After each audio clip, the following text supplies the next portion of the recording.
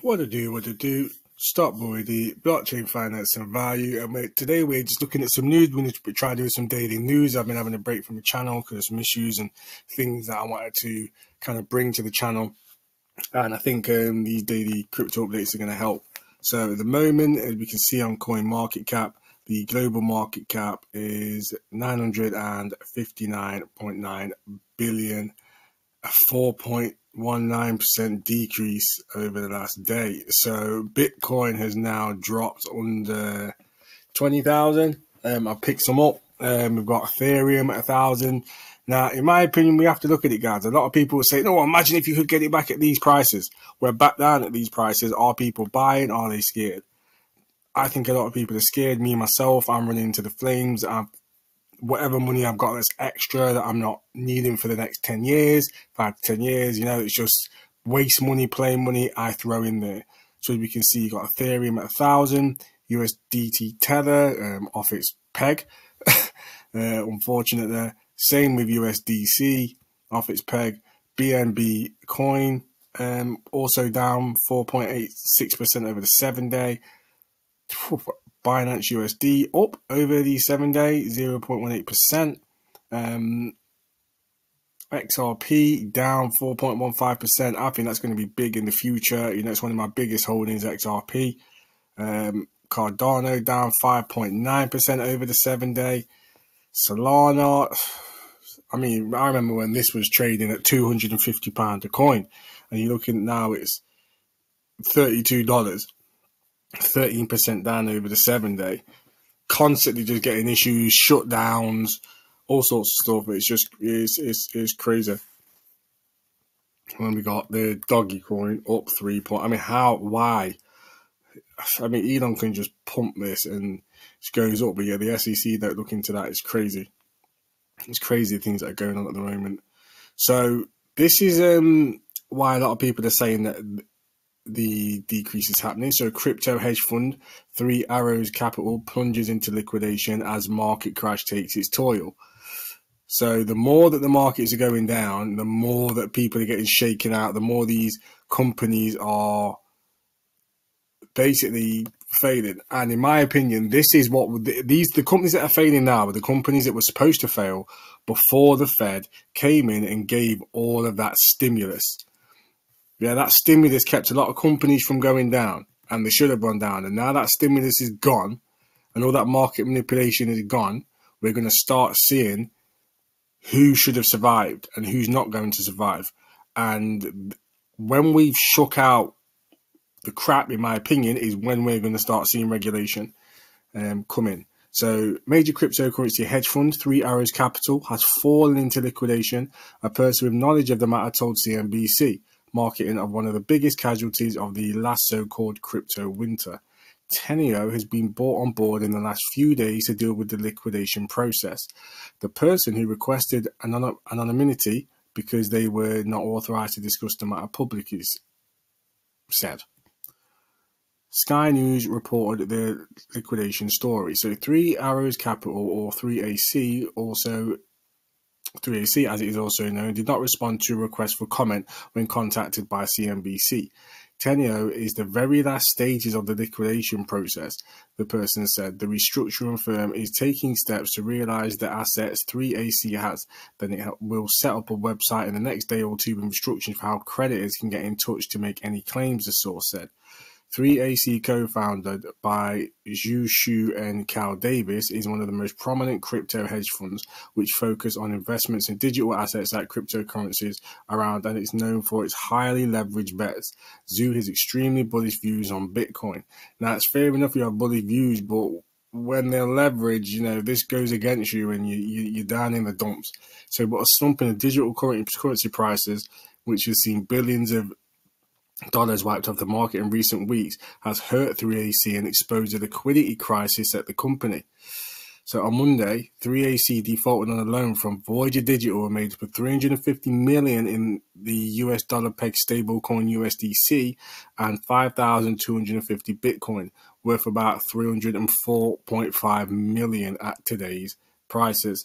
3AC is exposed to the collapse out algorithmic stablecoin Terra USD and sister token Luna. The Financial Times reported this earlier this month that US-based crypto lender BlockFi and Genesis liquidated some of 3AC's positions, citing people familiar with the matter. 3AC had borrowed from BlockFi but was unable to meet the margin call.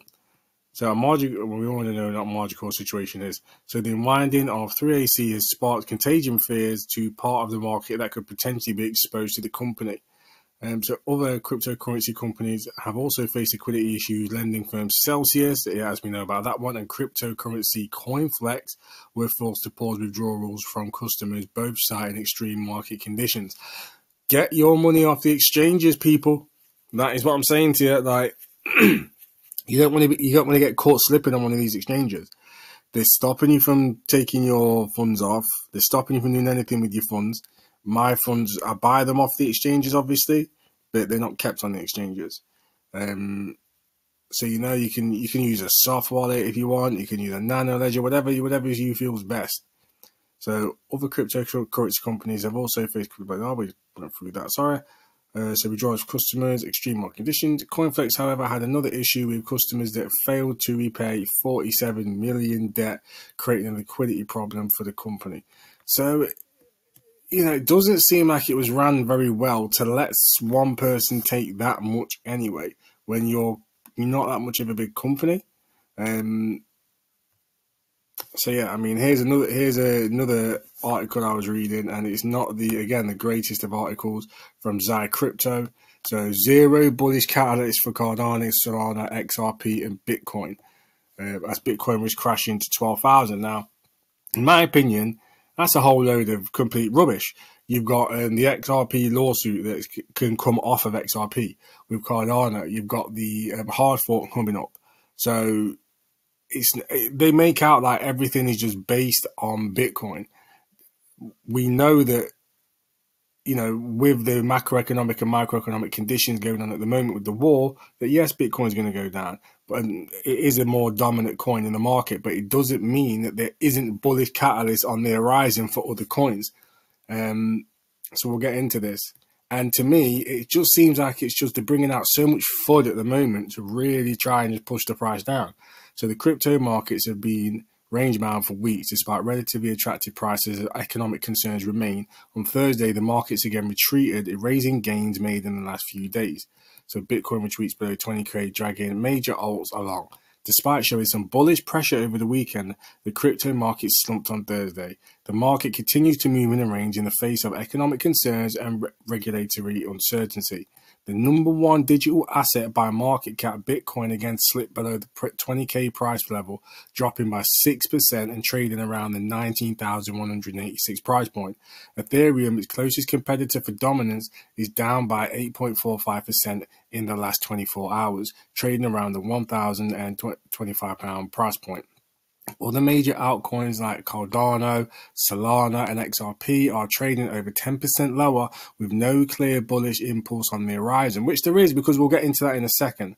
So, notably, with some analysts believe that the bottom may be in for Bitcoin as it continues to trade within the tight range formed in mid-May, and markets appear to be lacking a catalyst to sustain a push to the upside. On the other hand, veteran trader Peter Brandt believes the markets can go even lower. I do genuinely believe the markets can go lower. Um, doesn't mean we can't see everything that's gone go back up, but you have to bear in mind. I think something that a lot of people are forgetting that throughout that whole crypto since 2020 bull run that we had, right? That was all manipulated. Make no doubt about it. That was when the Fed was pumping money into the market. So because the Fed were pumping money into the market, what did we end up getting? We ended up getting a huge run where the Fed was buying bonds and the Fed was giving out you know um, loans to people and people were just buying stocks and buying crypto with it. And obviously the Fed was doing that as well. I think it was a, a couple of billion at least was putting into the market per month. So imagine the, the difference that that had on keeping up these firms and cryptos when if it didn't happen these firms and cryptos would just hit the dust. And now what we're starting to see is these firms and stocks as well starting to crumble and hit the dust in my opinion So, as reporter ZyCrypto, the seasonal trader thinks an 80% price drop for the fourth time since 2011 isn't out of the question. Similarly, in a tweet, the trader also highlighted that Ethereum is forming a descending triangle pattern that could see the asset break lower. Crypto firms are downsizing and Bitcoin coin miners are selling.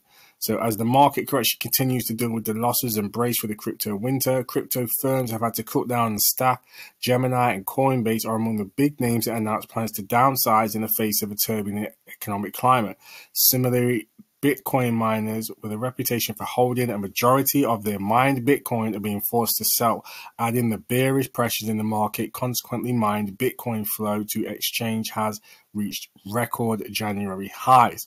However, it's not all doom and gloom for Bitcoin. Despite all of this, it is worth noting that Bitcoin ETFs have continued to see inflows in the last couple of weeks, with inflows last week totaling 129 million, a sign that investors still see some upside for the nascent market. Moreover, investment bank JP Morgan believes that Bitcoin is currently undervalued with crypto markets in general having more room for an upswing, which is what I believe. Are we still going to go down? Yes, because it's all um, depending on this war with Putin at the moment and what's going on there. So this is something that was really sad to see. It's really annoying um, the SEC are continuing this this this witch hunt in crypto. So as we can see here, SEC rejects grayscale spot Bitcoin ETF application. Um, grayscale also own CoinDesk, and we're reading this on CoinDesk. So let's take it with a pinch of salt. The Grayscale Investments application to convert its 13.5 billion Grayscale Bitcoin Trust GBTC into a spot-based Bitcoin exchange traded fund was denied by the Security and Exchange Commission on Wednesday, Wednesday, despite the company's extensive efforts to win approval. Grayscale is owned by a digital currency group, which is also the parent company of Coindesk. The SEC stated in its decision that the application failed to answer the SEC questions about preventing market manipulation as well as other concerns.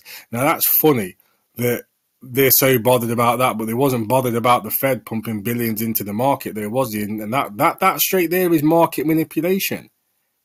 That is ridiculous. Like, they, they, they are literally picking winners and losers, and America or like the SEC is setting them up to be so far behind everybody else in the crypto curve that they're going to struggle to keep up and they're going to struggle to, to, to get back up. The, these problems are not happening all, all over the world. You know, they're only really happening to America. And we have to think, why is that? Because America is normally first when it comes to everything. So the SEC stated in its decision that the application failed to answer the SEC's questions about preventing market manipulation as well as other concerns. The decision joins the SEC's rejection on Wednesday of Bitwise's application for approval of a spot Bitcoin ETF, which is comprised of Bitcoin or assets related to the to Bitcoin's price. Like Bitwise, Grayscale initially filed its application in October, but the decision was delayed multiple times. The SEC requested additional information and comment from the public. The final deadline for the SEC to render a decision on grayscale application was the 6th of July. Proponents for a spot Bitcoin ETF approval have, uh, argue, have argued that the product would offer a low cost and easily accessible way for individuals and institutions to invest in Bitcoin. Optimism about an approval began to grow following the approval of several Bitcoin futures based ETF last fall, and then that two more future ETF approvals earlier this year, based on the Security Exchange Act of 1934, the same act under which spot Bitcoin ETFs have been filed. So, for its part, Grayscale have argued forcefully that, it's in, that it is inconsistent to approve an ETF based on Bitcoin futures, but not allow one based on the underlying asset. It's pretty, I think that's pretty fair. Some of its efforts have included marketing to urge members of the public to voice their opinion to the SEC, a May meeting with the SEC, and strengthening of its legal team with the addition of Donald B. Verrill Jr., who previously served as Solicitor General in the Obama administration. The denial comes as a blow not only to Grayscale but for the broader crypto industry as a long campaign in the hopes of, for proving the SEC the product contained sufficient investor protections. Now, the problem with this is that I, th- I think this all hinges on Ripple. This all hinges on can Ripple win against the SEC in terms of Gary, in terms of um, Brad Garlinghouse and the XRP lawsuit? Can they win? If Ripple and everyone can win um, against them, then we're going to start seeing a hell of a lot more innovation in the US, and it's going to be good for the crypto industry. If we don't, then it's going to be bad, and I think they're going to try and keep crypto down and keep it and, and try and, and try treat it like a bad employee and manage it out. To be very honest with you. Um, so the denial comes as a blow not only to Grayscale but for the broader crypto industry after a long campaign in the hopes of providing the SEC and the product contains sufficient investor protection. A few analysts and observers were anticipating an approval. However, noting the SEC chair Gary Gensler has been consistent in wanting to see some more oversight of crypto exchanges before approving a spot Bitcoin ETF. He is the oversight. Investors in crypto observers will now turn their focus to what Grayscale can and will do now to win an approval for a conversation, CEO Michael Sonnenshein said on June 27th. The company will be preparing for all possible post-ruling scenario, and on the same date, Grayscale said it would be working with the market makers Jane Street and Virtu Finance to help convert GBTC into an ETF if its application was approved. GBTC was trading at an approximate 29% discount to net asset value ahead of the denial, down from 34% a prior week. So bargain snappers. But here we are. But in the UK, we're not in the UK, so in Europe. Um, this is Amsterdam. We've got a new spot Bitcoin ETF launches at Euronext Amsterdam Exchange. So it's pretty sad, like that America's really like stifling innovation, and we're going to get into this, and it's good news. It's good news, crypto. It's not all doom and gloom today, guys. So major Dutch stock exchange, and this is um, from Cointelegraph. So major Dutch stock exchange Euronext Amsterdam, a part of the pan-European marketplace, Euronext is, deb- is debuting its first Bitcoin exchange traded fund. Try to say that with a mouthful. Jacobi Asset Management, a London digital-based asset management platform, is preparing to launch its Jacobi Bitcoin ETF on Euronext Amsterdam next month. The firm announced on Thursday the spot Bitcoin ETF will start trading on the Euronext Amsterdam exchange under the ticker Bitcoin, well, Bitcoin, sorry. The Jacobi Bitcoin ETF is positioned as the first spot Bitcoin ETF launched in Europe. Jacobi founder and CEO Jamie Kirschid told Cointelegraph, our product is the first spot or physical Bitcoin fund, and the fund is not allowed to lend, stake, or leverage any of the assets it owns. For the first time in Europe, investors buying an exchange traded Bitcoin product will own the units that own the Bitcoin. Kirschid said. There are other exchange traded products in Europe, but no other spot BTC ETF, he said. A spokesperson for Euronext confirmed the Bitcoin will be the first spot Bitcoin ETF ever listed on Euronext. This will be the first Bitcoin ETF on Euronext or the first fund directly investing in Bitcoin. All other currently existing products on our segment are exchange traded notes or legally structured as debt instruments, he said. In a statement, while the ETF would arrive in July, Euronext did not provide a specific date for the launch. As previously reported, Jacobi received approval from the Guernsey Financial Service Commission to launch the Bitcoin ETF in October 21. Custodial services for the Jacobi Bitcoin ETF will be provided by Fidelity's crypto arm Fidelity Digit Digital Assets, while Flow Traders and DRW would serve as market makers to facilitate trading. Institutional and professional investors in Europe will be able to have access to the ETF for a 1.5% annual management fee, the announcement notes.